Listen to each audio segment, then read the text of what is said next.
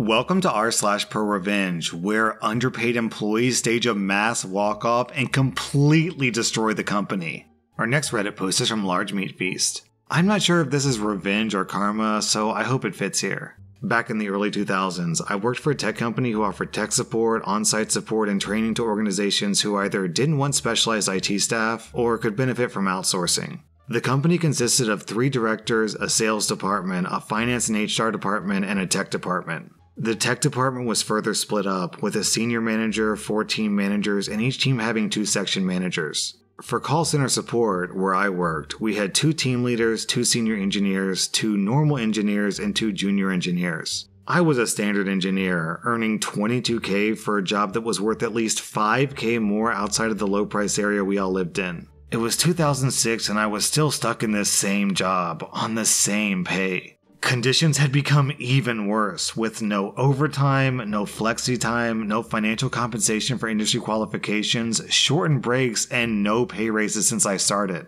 To make matters worse, they sold part of the land that the office was on to a developer, and on site car parking was now for management only. We had to either pay to use a nearby council car park or risk parking on the street. Morale was low, but despite the bad pay, it was still good for the area we lived in. One Friday in July, one of the senior engineers finds a document that he shares around the private chat app.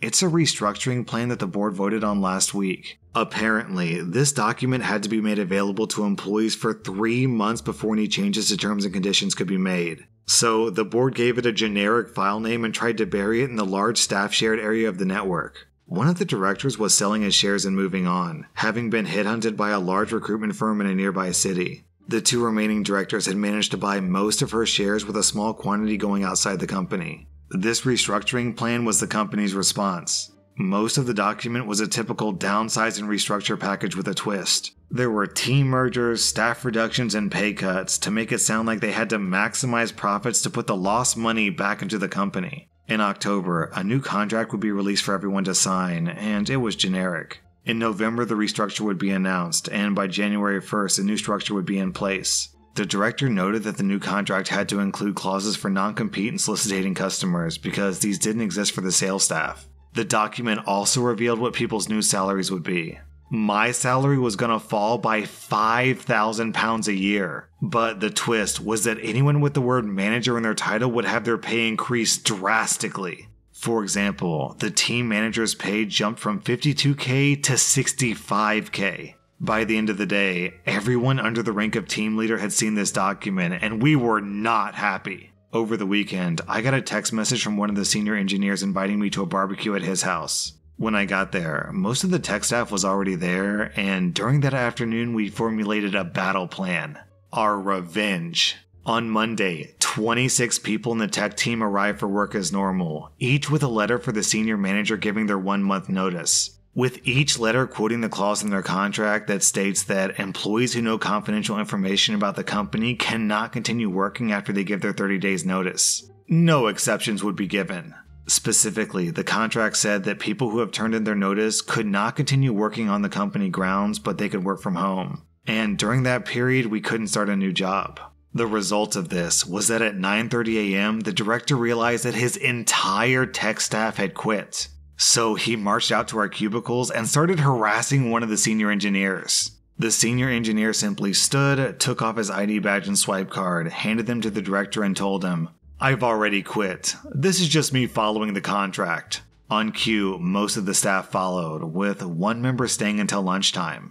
From what I've been told, directors, senior managers, and anyone they could get a hold of were on phones attempting to fix issues. The queue of unsolved tickets went from around 35 to nearly 100 by lunchtime, and naturally, the blame was left firmly at the door of those who quit. We were even bad mouthed to customers. The day after our notice period expired, the senior engineer welcomed 25 new staff to his new company and had already taken 10 large contracts from the place we used to work for. We all had better pay and much better conditions with an actual career track rather than being at the whims of the managers. The old company tried to keep afloat for a year, but they were losing money on every contract, and they couldn't afford to employ skilled or experienced people. They closed down in June of 2007 with the owners having to sell personal assets to pay debts. And the two remaining directors declaring personal bankruptcy too. I don't understand how the company managed to crash. They had all those high paid managers. Couldn't they do the jobs of all the workers? You know, honestly, it's surprising that more companies don't end up this way. When you just pour more and more money into management and less and less money into the people actually doing the work, how do these companies stay profitable? I guess in this specific case, they don't. Our next Reddit post is from Viper896. My dad was a mechanic for 20 plus years, and for long as I can remember, I drove him nuts because I would go around the house with the screwdriver he left out and take everything apart because I wanted to see how things worked. As I grew older, I developed an affinity towards computers and electronics, which led to me being that kid in high school who changed his grades, crashed the school district servers, and used the netsend command with great success. I would spend my weekends either with my grandparents or uncle working on science projects or dragging my dad outside to help me fix my car. Those figure it out lessons were probably the greatest gift that he could have given me growing up. I joined the US Army in March of 2004 and went into communications, or COMMO for short, where I managed to go from private when I joined to sergeant by the time I returned from my deployment at the beginning of 2007. After returning home, I was subsequently transferred from a light infantry unit, walking everywhere, to a mechanized infantry unit where we rode armored vehicles everywhere, and placed in charge of the battalion commo shop because the current person running the commo shop was scheduled to retire in a few months, and I was the only other NCO.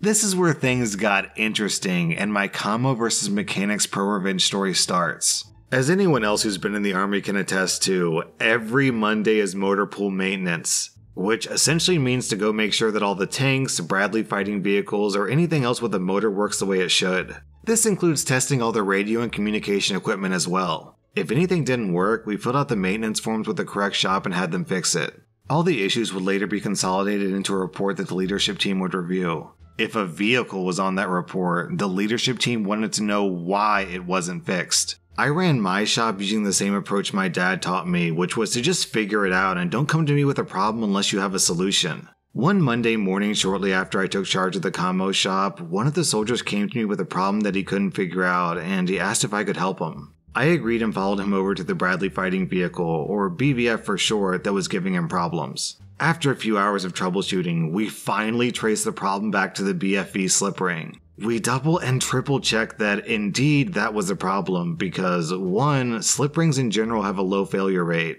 and two, it wasn't something that we could fix on our own. It required help from the mechanics because the slip ring required taking apart the interior of the BFV turret to actually get to it. So I went to the mechanics to get their help so we could fix the problem. This is where I learned that the mechanics did not like the commo shop. I was essentially told by the motor chief to F off, and the slip ring is a commo issue and it's the commo shop shop to fix it, not theirs. I was pissed at their response and I tried to insist that we needed his help. However, I was promptly shut down and told to pound sand. At this point, I was beyond pissed. I tried the official way. I even swallowed my pride and asked him nicely, and both times I was dumped on. I decided I was going to play global thermonuclear war and teach him a lesson that neither he nor anyone else in his shop would soon forget. So I went to my guys and told them I would be back in an hour or two because I needed to run home and grab some stuff. When I got home, I went directly from my garage and started packing all the wrenches, impacts, and sockets that I could fit into my portable toolbox. I also loaded up the portable air compressor and any extension cords I could find and made my way back to the motor pool. Once I got back to the motor pool, I had my guys locate every extension cord they could find around the office because I could only find one in my garage, and help me run power out to the BFV that we were going to have to fix ourselves. Meanwhile, I also had two of the guys run to the headquarters and find me two of the largest empty coffee cans they could find. I ended up having to tell them twice because the first time they thought I was joking. They couldn't understand why I needed a coffee can of all things. When they returned with the coffee cans, I had everything in place. I had power, compressed air, tools, and a place to neatly put all the bolts, nuts, and washers I was about to remove. Under normal circumstances, I would only remove the things that absolutely had to be removed. The fewer things to put back together, the better. But these weren't normal circumstances, and I had absolutely no intention of putting anything back together. It was about lunchtime, and I decided that my way of fixing this issue probably wasn't the best example to set for my team. So I sent them to lunch and told them I would handle this issue so they could focus on other vehicles when they got back. For the next few hours, I proceeded to dismantle every single bolt I could find. I removed seats, interior plates, shelves, pretty much anything that wasn't electrical or commo related got removed. I would then place all the newly removed hardware in the coffee can. By the time I reached the turret, I had filled up both coffee cans with nuts, bolts, and washers, so I had to find something else to start putting this stuff in. Luckily, we had Ziploc bags by the dozen laying around the office. I grabbed a couple of those and went back to having fun taking apart the BFV. I finally reached the slip ring and managed to luck out. I didn't have to replace the slip ring at all. It turns out the mechanics didn't install one of the cable mounts, and one of the commo cables got snagged and subsequently cut. It probably took me less than 15 minutes at that point to replace the cable in the missing cable mount. Of course, the fact that I completely removed everything in the way helped because now I didn't have to fish out the cable through anything. Once I replaced the cable and made sure all the other commo equipment worked, I figured while I had everything taken apart, it would be much easier to fix any other problems they might have been having. All commo systems checked out and my job was done. Everything that I'd taken out of the BFV was then gently and neatly stacked in the interior of the BFV.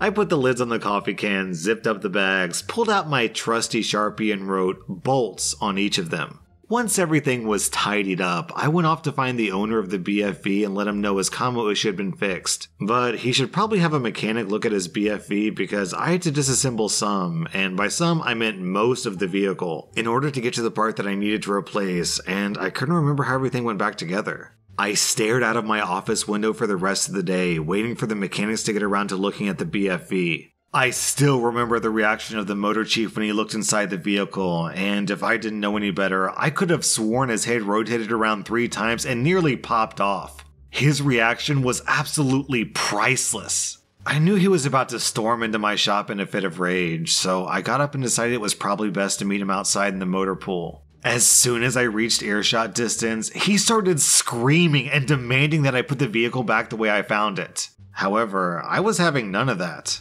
I simply shook my head and told him it was a mechanical issue now and it wasn't my job. I asked for your help in the beginning and I was told no because it wasn't your job. I'm just a commo guy. I didn't know what needed to be removed so I could fix the commo issue in the slip ring, so I removed everything. If someone from your team would have been there, I think this whole misunderstanding could have been avoided. That vehicle remained on the weekly report for the next three weeks while they figured out what bolts went where. However, after that incident, I was never told it's not my job ever again. And the mechanics were more than willing to help me fix any issues that came up. By the time I left the unit, we ended up starting to cross train each other's team members so we could fix things faster as they came up.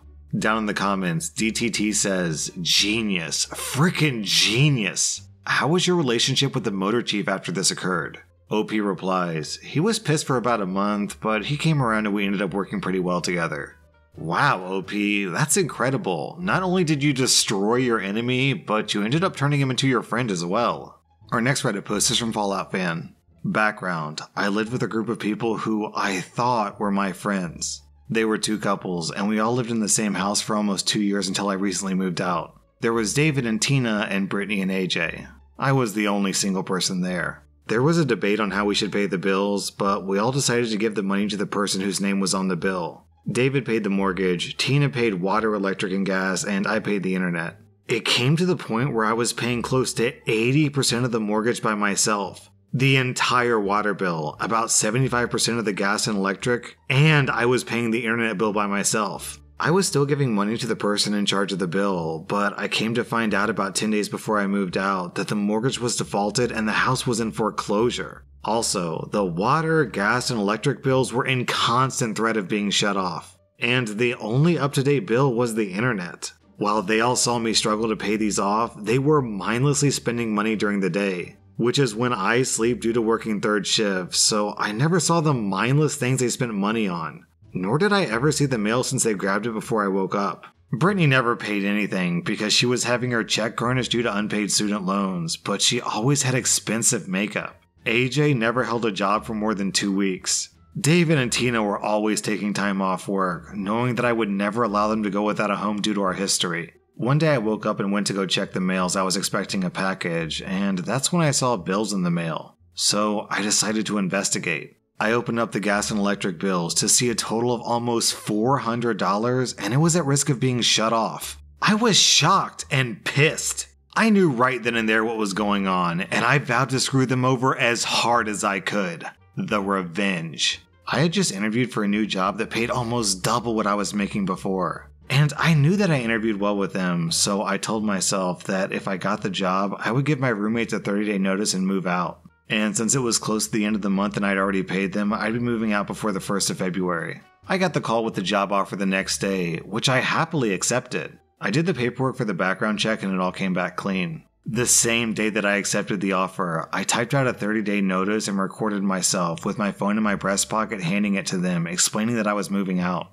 I started hunting for a place close to my work, which I found within a week. I was asked several times to help them with next month's bills, to which I said no, because I was saving for my own place and they had plenty of time to come up with the money between the four of them. I told them I was done paying all the bills by myself on the meager pay rate of $11 per hour. There were a lot of scowls, passive aggressive behavior, and flat out attempts to steal my things and my food without permission. The day came when I finally went and got my U Haul and had a few of my friends help me move. I was determined to get it all in one go, so I got the biggest one they had and we got everything packed up. I took everything that was mine, down to my pizza stone, which they loved my expensive kitchen knives, which they would use and never clean, and even my toilet paper that I brought three days ago. And even then, a few of my toilet rolls had gone missing. After moving everything, I sat down on my couch, looked around with my cat in my lap, and breathed a sigh of relief. I happened to be good friends with my previous neighbors, and I asked them to keep an eye out for anything out of the ordinary. Four days later, I find out that the gas, electric, and water have all been turned off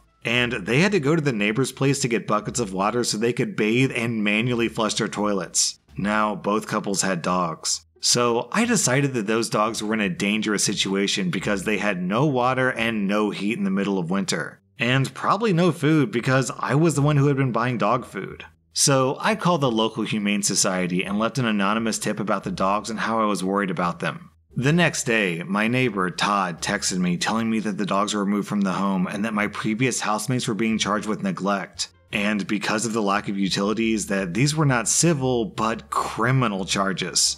That was enough to make me smile, but I wanted more. I knew that David was divorced and had a child. I also knew that he wasn't paying child support. I then contacted the local courts and made them aware of the flagrant non support and that maybe they could help the agency look for him. So I provided them with David's address. From there, we learned that he was almost $25,000 behind, which is a felony in the state where I live. David is now couch surfing because Tina left him. His house is foreclosed on, and he has nothing in his name while facing multiple criminal charges. Moral of the story don't take advantage of a friend who knows all your dirty little secrets. That was r slash pro revenge. And if you like this content, check out my podcast where I publish the exact same episodes. Also, hit that subscribe button because I put out new Reddit videos every single day.